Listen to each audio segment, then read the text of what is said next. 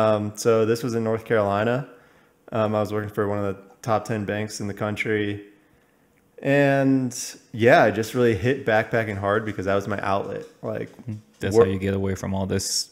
work cubicle and, stuff. Like, yeah. And uh, one thing led to another. And I got caught up in a blizzard because, you know, I was a Gumby, like didn't know what I was doing. And just like, I got caught in a blizzard and it was just the coldest night ever.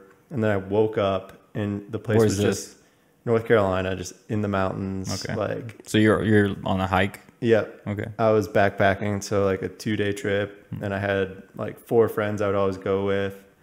Um, and we were actually on Grandfather Mountain, which is a pretty known, well known mountain in North Carolina.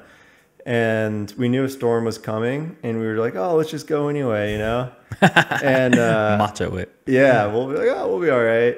And it was one of the coldest nights I've ever had.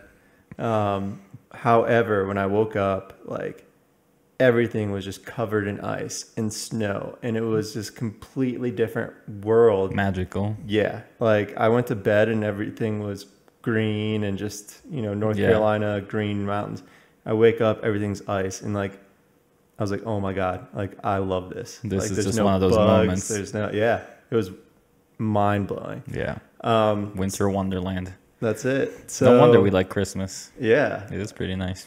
Um, so yeah, that kind of inspired me. I was like, okay, I want to climb big mountains.